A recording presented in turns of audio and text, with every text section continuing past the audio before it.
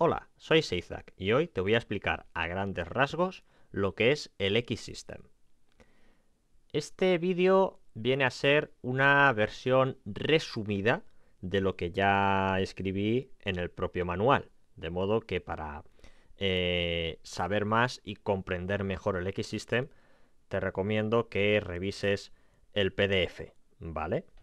De todas maneras, insisto, esto viene a ser un resumen para que tengas un entendimiento general y que te sirve papa pues para entender, digamos, más rápidamente de qué va todo esto. Este vídeo está eh, directamente relacionado con los efectos especiales de Blood, porque como entenderás, los efectos especiales varían en función, bueno, pues del tipo de motor que usa el videojuego. Es más, si ya has usado, por ejemplo, el build de Duke Nukem 3D, que en este caso, como estamos en tiempos modernos, pues es el Eduque 32 y el editor de mapas Mapster 32.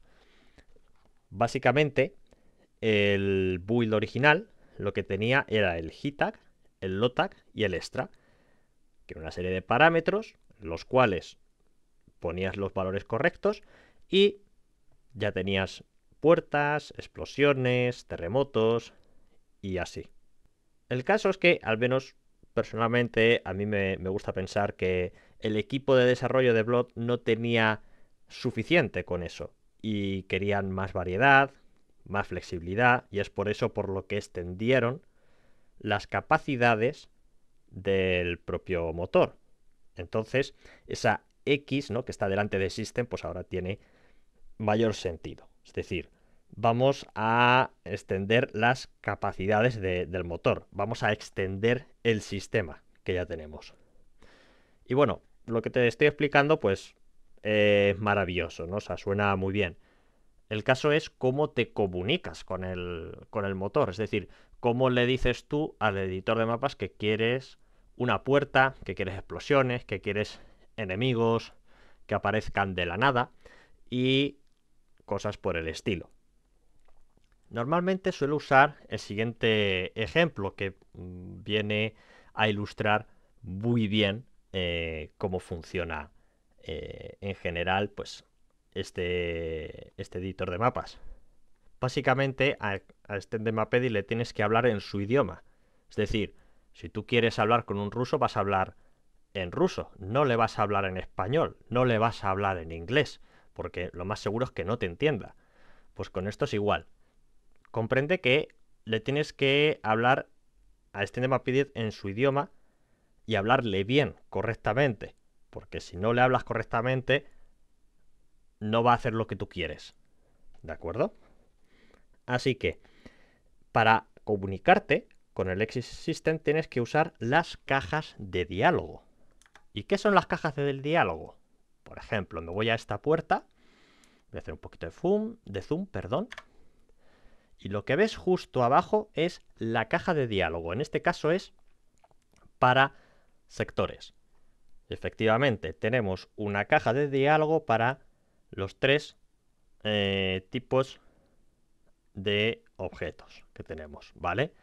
Que es el sector, la pared y el sprite. Entonces, para el sector tenemos esa caja de diálogo. Ahora, si quiero la de la pared, sería esa. Y si quiero la del sprite, es esta de aquí.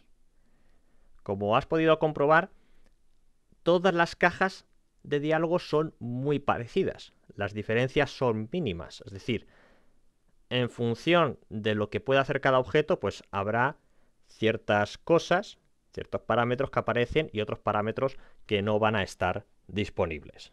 ¿De acuerdo? Entonces, lo que hace el X-System es muy sencillo. Es decir, aquí yo tengo un sprite y es un sprite normal y corriente. Pero en el momento en el que uso el X-System, lo que hace es extenderle las capacidades que tiene. Y se puede poner una serie de parámetros para que el objeto realice unas tareas determinadas. ¿De acuerdo? Ahora bien, para los que vengan de Duke Nukem 3D o incluso de Shadow Warrior, se estarán preguntando, ¿aquí se usan los valores HITAG, LOTAG, el valor extra? ¿Se, usan todavía? Y la respuesta es muy sencilla. No han desaparecido. ¿De acuerdo? Siguen estando ahí. Simplemente que los valores se están manejando de forma interna. ¿Vale? Ahora, todo objeto que esté extendido, ¿de acuerdo? En general se le dice XObjects.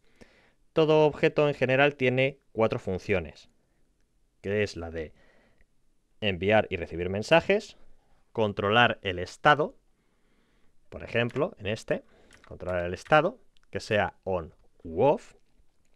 También tenemos la función de interpretar e implementar los estados, los states, de una forma determinada y detectar eh, disparadores físicos, ¿vale? Los triggers. Y todas estas funciones, pues bueno, tienen sentido gracias a la jerarquía que mm, vas a ver a continuación.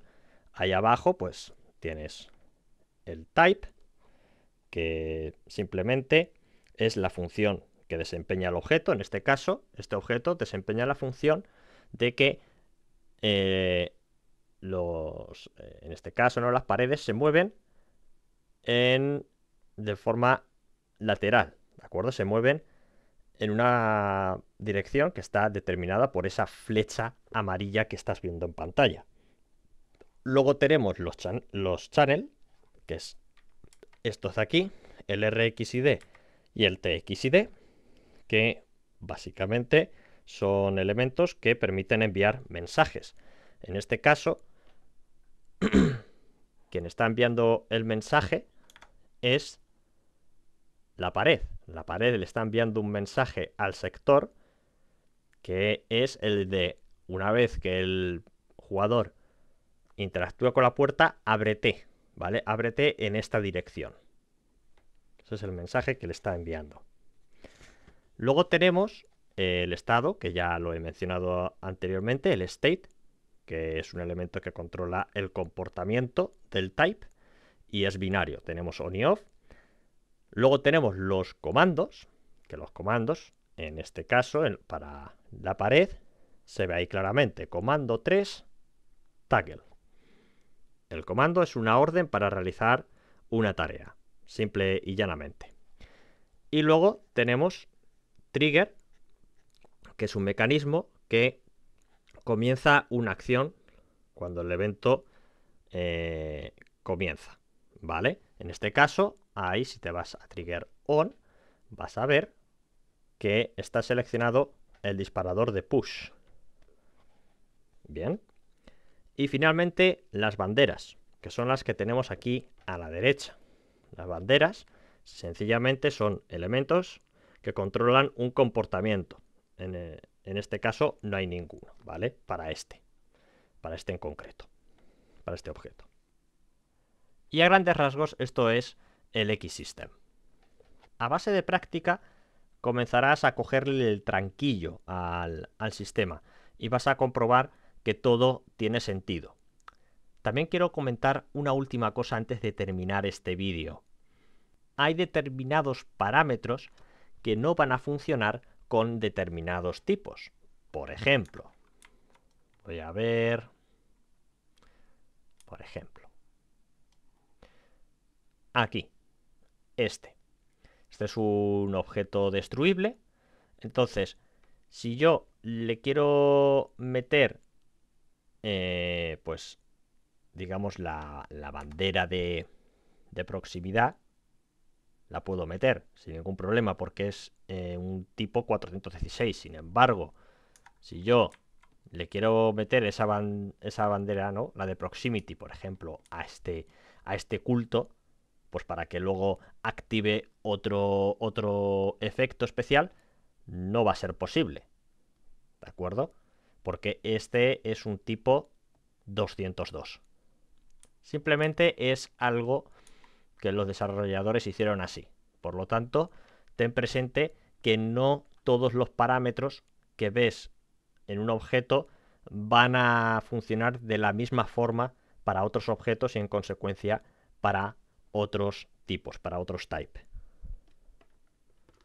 Sencillamente tienes que memorizar, apuntar las cosas, tenerlo a mano y a su vez tenerlo presente. Y esto es todo. Espero que este vídeo te haya sido de utilidad y no dudes en ver el resto de vídeos en el que explico determinados efectos especiales, pues para que así comprendas cómo funciona este sistema.